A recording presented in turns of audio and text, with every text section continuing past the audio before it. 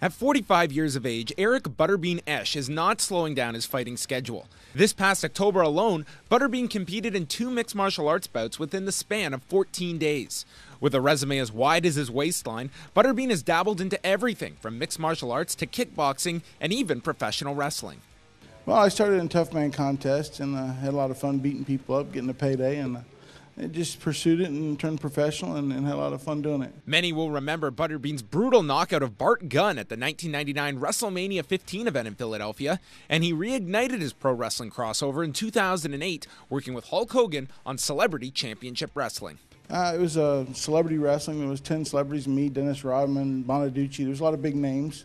Uh, they taught us how to wrestle, and we wrestled just each other to see who was the best. Hogan's a phenomenal athlete. I mean, he's just so talented at what he does. I mean, it, it, it's the top. You can't get any better than in the wrestling world. You know, he's right. He, he's right there. With 124 fights that have been recorded, Butterbean still has one more goal he has yet to attain. I've always wanted to fight Tyson in a boxing match. He's not going to fight anybody that can punch, so that ain't going to happen. But yeah, I, I, enjoy fighting. I don't care who I fight. I, I love to fight.